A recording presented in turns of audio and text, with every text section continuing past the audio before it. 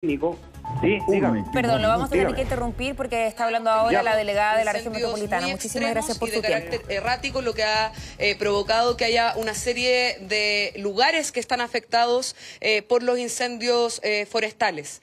Eh, actualmente en el sector de Curacaví, eh, en el sector del Fundo eh, Carén, eh, se está eh, desarrollando un incendio de caracteres muy extrema.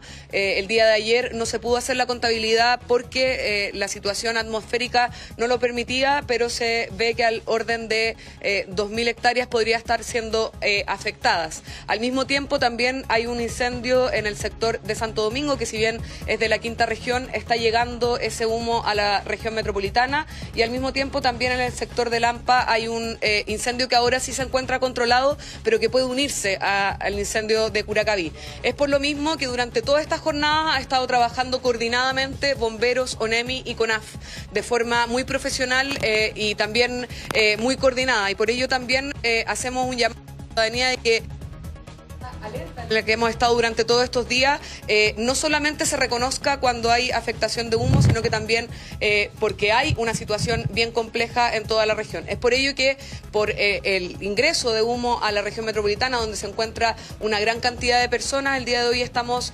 determinando una alerta por riesgo sanitario. Quiere decir que efectivamente se van a tomar ciertas medidas de precaución y también una solicitud a la ciudadanía que tenga una actitud de prevención, es decir, todo el grupo de riesgo, eh, sea eh, menores de edad, eh, adultos mayores, personas con eh, algún problema cardíaco o respiratorio, evitar eh, exponerse al humo, utilizar eh, mascarillas dentro de lo que se pueda y también eh, eh, a toda la población evitar de todas maneras hacer ejercicio eh, en, el, lugar, en lugares públicos y también en lugares cerrados, no exponerse eh, al humo eh, de manera innecesaria y también evitar los traslados eh, que no sean estrictamente necesarios.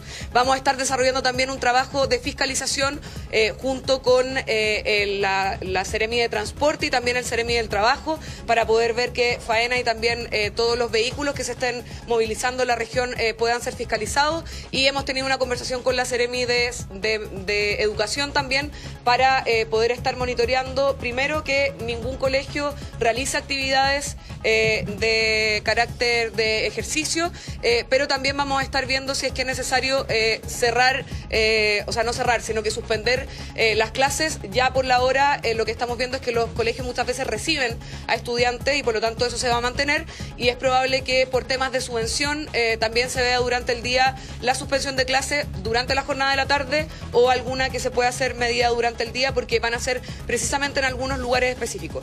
Quiero hacer bien clara, acá hay humo. Cada vez que hay humo eh, puede haber afectación a la, a, la, a la salud de las personas. Sin embargo, este es humo eh, producto de eh, incendios forestales. Por lo mismo, lo que se está haciendo es monitorear el material particulado fino y también más grueso para ver de qué forma esto también puede tener una afectación a la salud. Esto también depende de cuánto tiempo se encuentre esta capa de humo en la región metropolitana, de también eh, cuánto tiempo también se generen estos incendios. Probable que la próxima semana también nos encontremos en esta situación y por lo mismo el llamado al autocuidado, pero también a medidas preventivas es fundamental. Acá el 99% de los incendios forestales son producidos o por la acción o por la omisión del hombre. Y por lo mismo hacemos un llamado a no generar ni quemas forestales, ni eh, corte de eh, eh, maleza a través de artículos, porque solo una chispa puede afectar y puede provocar un incendio de mayores características. Tengan cuidado con los traslados, tirar colillas de cigarro, también generar acciones durante el fin de semana que, por ejemplo, pueden ir eh, de la mano con actividades al aire libre y, por lo tanto, un llamado a la prevención, a mantenerse dentro de sus casas, a no generar actividades eh, al aire libre y también tener unas conductas preventivas. Es mucha información. Usted señalaba hace un momento atrás que eh, la conducta de los incendios era errática. Eso hace eh, poder prever que quizás no estaba, digamos, de todo anticipado que pudiese llegar el humo a la cuenca de la región metropolitana. Eso es muy variable y depende de condiciones climatológicas que van desde, por ejemplo, las temperaturas, el viento, el, sentido del viento y también las características de la magnitud de estos incendios. Por lo tanto, hay, un, hay una serie de factores que influyen en estas condiciones y quiero dejar eh, tanto a la autoridad sanitaria como también las autoridades de CONAF para que puedan hacer también una bajada más concreta y se pueda tener mayor información para respecto a eso. para la población, eh, ¿cierto? Para los niños, los adultos mayores, ¿cuáles son las Se le está preguntando por los niños y por los adultos mayores. De- de la Nada, muy cortito, porque fue mucha información al mismo tiempo para que la gente lo entienda, las medidas que acaban de tomar y la alerta también que se anunció. Es una alerta por riesgo sanitario, quiere decir que se están haciendo todas las coordinaciones entre Seremi de Salud, Seremi de Transporte, Seremi de Educación eh, y Seremi del Trabajo para ir eh, monitoreando esta situación eh, y también en consideración a las medidas que pueda tomar tanto NEMI como CONAF de cara a estos incendios forestales que sean... producido durante más de una semana y que probablemente puedan continuar durante la semana que viene. Las recomendaciones es a mantenerse en lugares eh, lo más cerrados posible, a tener precaución con la población de riesgo, dícese personas mayores, niños eh, y también personas con afectaciones cardíacas o respiratorias. Pero dejan de funcionar empresas, hay restricciones, Eso lo vamos, lo vamos a hablar a continuación. El punto es, las recomendaciones por ahora es por riesgo sanitario y tiene que estar siendo eh, visibilizado durante todo el día porque las condiciones del aire son variables y por lo tanto no podemos tomar eh, medidas eh, sin que se pueda hacer ese monitoreo. Por lo ¿La tanto, alerta es a para toda la región metropolitana? Bueno, muy buenos días. Como lo, como lo señalaba la, la delegada y en esta reunión del comité justamente con la UNEMI, con también la Seremi de Medio Ambiente y también la Seremi de Educación y también en contacto con la gente de la Dirección del Trabajo a nivel regional, es que se va a decretar esta alerta de riesgo sanitario en la región metropolitana, la cual tiene como principal eh, indicación la, en la suspensión de toda actividad física en la región, particularmente lo que es la eh, actividad física que se hace en los establecimientos educacionales. Eh, eventualmente, efectivamente, estamos evaluando con la Seremi de Educación que haya una suspensión de clases en algunas comunas donde efectivamente haya un alto, alto índice de material particulado. Eh, eso de alguna manera es muy importante dejarlo claro, que sería la suspensión de la actividad física en todos los establecimientos educacionales de la región metropolitana y también estamos evaluando minuto a minuto efectivamente la afectación de algunas comunas que efectivamente es bien dispar en la región metropolitana, considerando que son 52 comunas, la eventual suspensión de clases en algunas comunas. ¿Cuáles son En esas concreto, ¿cuál es Eh, cuál esas es comunas, sí, son comunas efectivamente que están en el sector eh, poniente de la, de la ciudad y que efectivamente las vamos a ir comunicando con la CNM de, Educa- de Educación para poder informar a, a- a toda la comunidad eh, eh, estudiantil. La otra medida que eh, es importante comunicar son las medidas que tienen que ver con el transporte. Es muy importante que, y el llamado justamente a evitar ocupar el, el automóvil, podemos contribuir todos justamente a que no emitir más material particulado al medio ambiente, a nuestro aire, por eso es, si hay que movilizarse, lo hagan por el transporte público y ya está, se están coordinando la, eh, in- la intensificación de las fiscalizaciones que vamos a hacer del- en el transporte en las principales vías de la ciudad justamente para que se respete la restricción vehicular que efectivamente hoy día rige a la, que rige a la, a la ciudad. Eso respecto al transporte y ojalá privilegiar el transporte público. La- la- las medidas que tienen que ver, las medidas, las medidas que tienen que ver ahora, quería mencionar las medidas que tienen que ver con el, el ámbito laboral. Es muy importante que hay trabajadores que están expuestos justamente a una actividad física intensa, justamente en comunas donde hay mayor exposición justamente al material particulado generado por el incendio.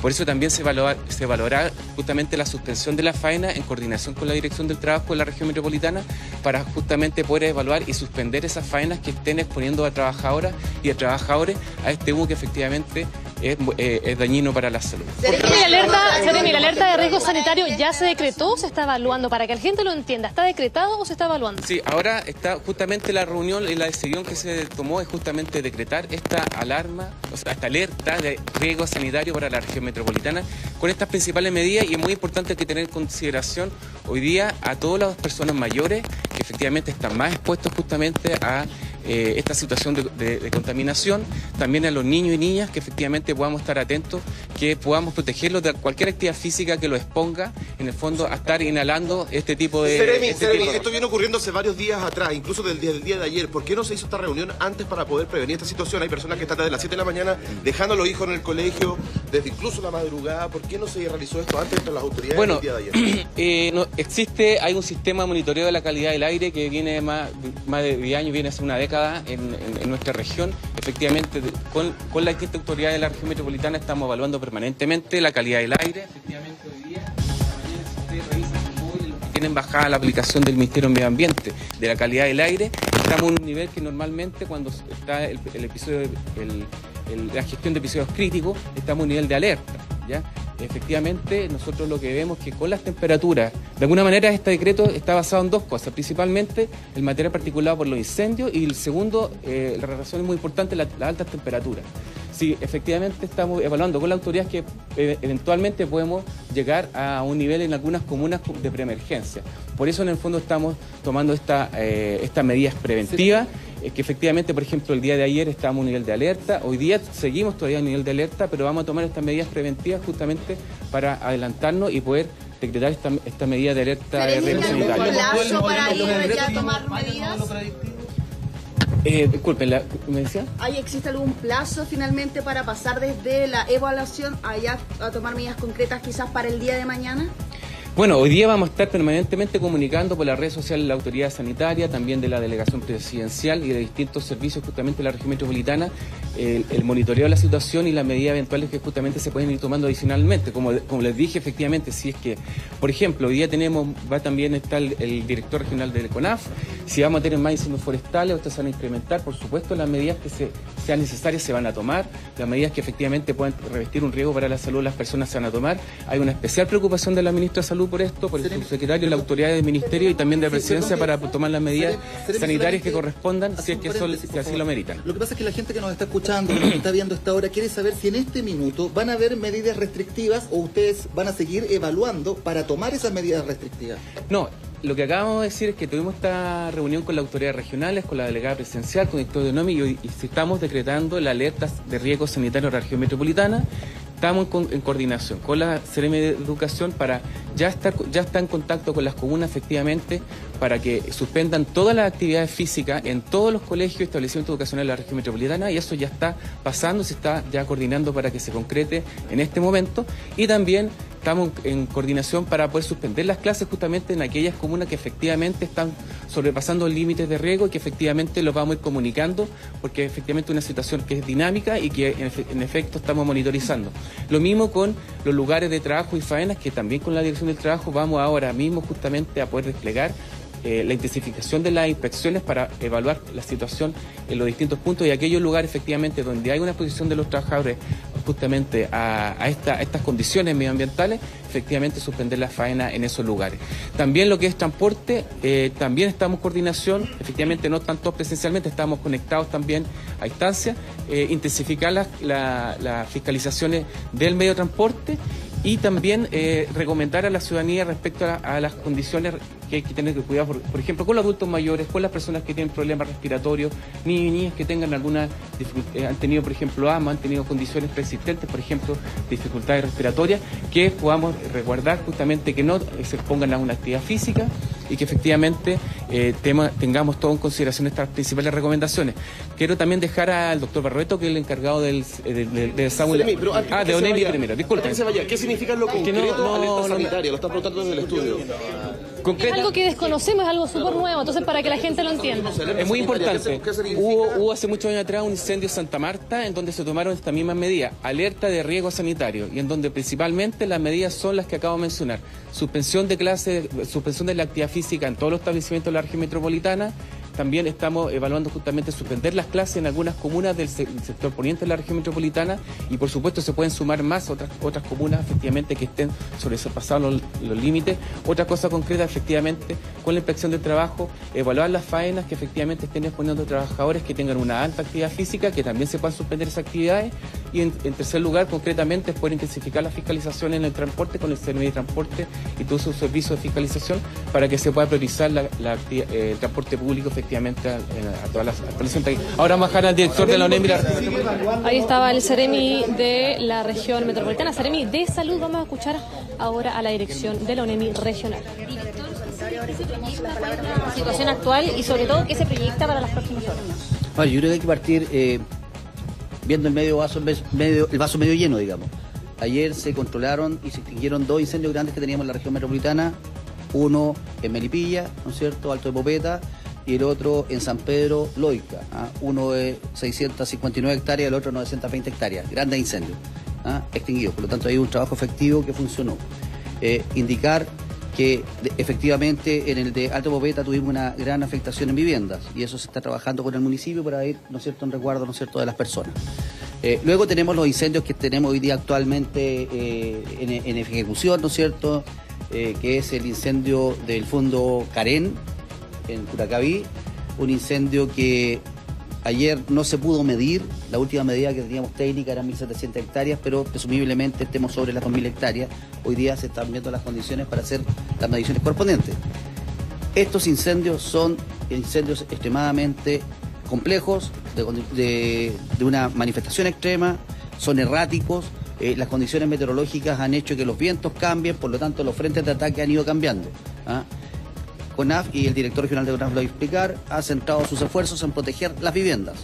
Proteger las viviendas y proteger la vida de las personas. Eso hay que ser bastante claro. a lo mejor Por eso se ve que ha avanzado mucho el incendio porque se han centrado en proteger las viviendas. ¿ah? Eh, hoy día están dispuestos todos los recursos técnicos, ¿no es cierto?, para poder enfrentar los incendios. Desgraciadamente estos incendios están generando esta otra segunda derivada que tiene que ver con la calidad del aire. ¿ah?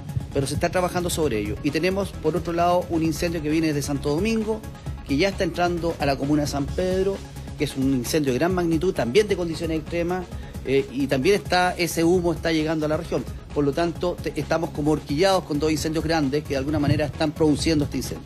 Lo que dice, lo que dice eh, la proyección es que estos incendios no se van a extinguir antes de tres o cuatro días. ¿ah? Eh, Qué buena noticia tenemos. Ayer la, eh, la Dirección Meteorológica de Chile bajó la alerta que tenía por temperaturas extremas. Por lo tanto, si disminuyen las temperaturas, también eso va a ayudar a que esto también vaya eh, teniendo algún impacto en el desarrollo de los incendios. Pero eh, es, ustedes dirían los periodistas, es una noticia en desarrollo. ¿ah? Eh, las condiciones meteorológicas, las condiciones topográficas de los incendios son las que van a hacer que el incendio se extinga más rápido o menos rápido. La nube de humo en Santiago, eh, ¿qué dicen las condiciones meteorológicas, vientos que se puedan esperar en la capital y que puedan ayudar a despejar esta situación durante la tarde los próximos días? A ver, eh, más que las condiciones meteorológicas, tenemos que hablar de las condiciones de- del humo. Eh, el humo se va a seguir generando. ¿ah? Por lo tanto, todas las medidas que se tomen desde la perspectiva de la autoridad sanitaria son las que tenemos que aplicar. ¿ah? En eso hay que ser súper claro. Siempre en emergencias, ¿ya? La, la población tiene que hacer caso a las indicaciones que hace la autoridad. ¿ah?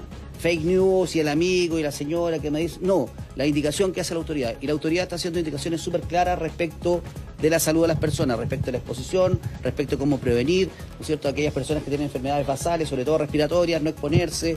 Aquí el tema de la exposición y el tema de la concentración del, materi- del material es lo que nos va a perjudicar. Por lo tanto, si yo no tengo necesidad de estar al aire libre, no salgo al aire libre. Si no tengo necesidad de hacer actividad física este fin de semana, es mejor no exponerse. ¿ah?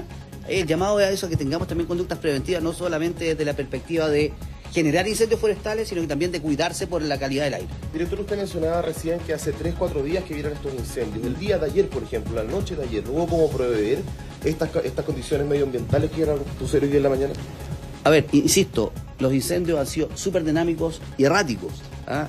Ayer, eh, cuando estábamos en, en Curacaví, evidentemente la cantidad de humo no era mayor que la que teníamos los días anteriores.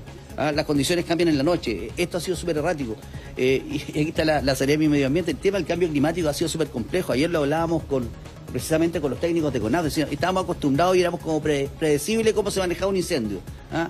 A tal hora va a bajar la humedad, va a bajar la- o sea, va a aumentar la humedad, va a bajar la temperatura. Antes se decía que los incendios forestales en la noche dormían. Y uno se confiaba en eso, no, en la noche baja. te- No, hoy día no está sucediendo eso. Se mantienen las temperaturas altas, eh, se mantiene la sequedad, se- sale viento. Por lo tanto, también ha ido habiendo un aprendizaje de todo el sistema respecto de estos tipos de incendios que son extremos y que perjudican no solamente la vegetación, la naturaleza, sino que también pueden perjudicar la salud de las personas. Muchas gracias.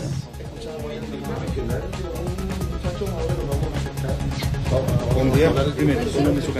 Rodrigo Illesca, director regional de Canal Región Metropolitana de Santiago. Director, bueno, eh, preguntarle con respecto al tema de los incendios puntualmente, al combate que se está haciendo ahora, los eh, eh, ¿tienen los eh, equipos, el equipamiento necesario, por ejemplo, el tema del agua también para poder eh, ir a- al combate de estos incendios? Porque eh, quizás la crisis hídrica es lo que más se podría llegar a afectar a partir de ahora si es que, la, si es que estos incendios siguen creciendo.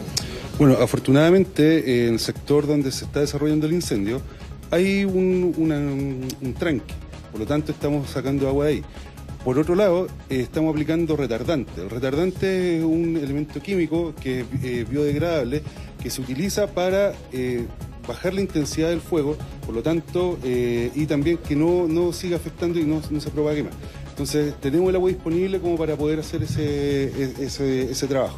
En, materia de intencionalidad, eh, este incendio, al menos considerando las cómo está ahora, eh, lo que han podido ir recabando, ¿podemos decir que aquí hay intencionalidad o no? Es difícil en este minuto porque nosotros hacemos la investigación de causa una vez que el, incendio está extinguido. ¿Por qué? Porque ahí podemos ver y analizar bien dónde comenzó y cuáles fueron lo- los pasos o cómo, cómo se empezó a desarrollar ese incendio. Pero eso tiene que ser una vez que ya está extinguido el incendio. Un poco sobre el trabajo en terreno, las brigadas que están trabajando, los equipos que están utilizando? En este minuto tenemos seis aeronaves, eh, helicópteros y con tres aviones cisterna y también un avión de coordinación. Ya, eh, más más eh, ma- ma- maquinaria, ¿no es cierto?, en el cual hace ayuda a hacer cortafuegos dentro del incendio. En, en Laguna Carén, en, exactamente. De hoy en Curacaví, eh, las condiciones climáticas tal vez van a dificultar los trabajos, ¿cómo lo ven ustedes? Bueno, los pronósticos para el día de hoy son 33 grados. Eh, hay que sumar 2 grados más en, eh, en ese, en ese sector, el cual hace las condiciones extremas nuevamente, eh, porque ahí están nuestros brigadistas, que son los que están ahí en terreno eh, combatiendo el incendio. Por lo tanto, igual nosotros le hacemos paradas de descanso para evitar la fatiga y, evitar también el, desgaste, ¿no es en, en cuanto al combate. Director, respecto a ese contexto, ¿ustedes han pensado en contratar aviones externos? ¿Los necesitan? ¿Creen que eso es una proyección necesaria? Bueno, nosotros tenemos todos los recursos técnicos, humanos y presupuestarios destinados para el, control de incendios forestales. Eh, en este minuto eh, llegaron dos, dos helicópteros que son Super Puma. Uno de ellos está trabajando en este, en este, en este incendio, el de Carén, me, refiero. Y eh, esto se va evaluando con el tiempo, pero nosotros ya tenemos la, la- la- proyección de, de- todo el arriendo ¿cierto? de las aeronaves. Están siete, siete brigadas, más tenemos una brigada que viene de Argentina, un apoyo que está llegando el día de hoy, y también dos brigadas que vienen de la décima región. Son eh, más o menos son 200 personas las que estarían trabajando, como, perdón, como brigadistas de CONAF. También está el cuerpo de bomberos que nos está apoyando en, el- en el control y el combate del incendio. Respecto a los aviones, entonces, están considerados siempre, pero todavía no se ha concretado ese... No, no, están, están ya las licitaciones, están todo- todos los aviones disponibles como para, para que empiecen a llegar. Nosotros, por- como región, tenemos uno asignado que empieza ahora, eh, ya está eh, trabajando y estamos combatiendo con, con ese, con ese avión. que es un, un incendio errático, eh, complejo. Eh, eso desde el punto de vista de la combustión, de lo que de lo que se está quemando, ¿qué hace tan complejo este a este incendio? Bueno, las condiciones, uno es el material combustible disponible, que es el, el pastizal eh, y también el- lo los árboles, el bosque que, está en el, en el lugar. El otro tema importante es que llevamos un periodo de sequía de 10 años, entonces la sequedad está muy, muy presente en en- en el bosque y también está el, el, ¿cuánto se esto? el tema de las, de las condiciones extremas de calor y por otro lado la topografía. La topografía también nos ayuda mucho porque si es, empinado, con los vientos aumenta, ¿no es cierto? Y se va propagando más rápidamente el, incendio. ¿La temperatura puede ser un, un- en sentido? En ese sentido es un aliciente, pero eh, tenemos que ver cómo, cómo se va desarrollando, porque las condiciones dentro del incendio van cambiando constantemente, por eso es errático. No, no sabemos cómo, cómo se está comportando, porque, bueno, ustedes ven la columna de humo que llega acá, eh, es precisamente por esa combustión. Por lo tanto, nosotros tampoco hemos podido hacer el reconocimiento aéreo, porque ahí nosotros vemos los puntos de calor, y no se ha podido hacer eh, porque lo- los aviones podrían, o el helicóptero que está encargado de eso, podría tener problemas y podría, podría ser accidentado.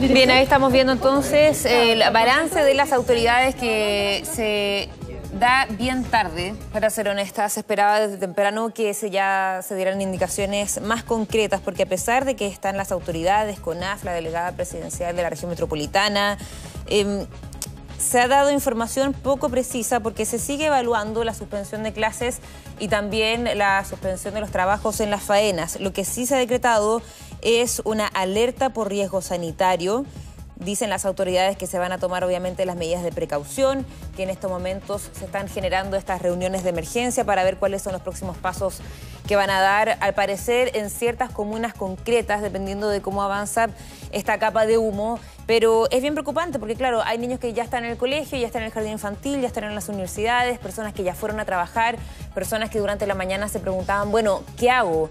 Eh, y este punto de prensa no ha dado todas las respuestas necesarias, eh, sobre todo porque se habla de prevenir cuando el humo ya está acá. De hecho, hubo una persona del balance que hablaba de una preemergencia ambiental.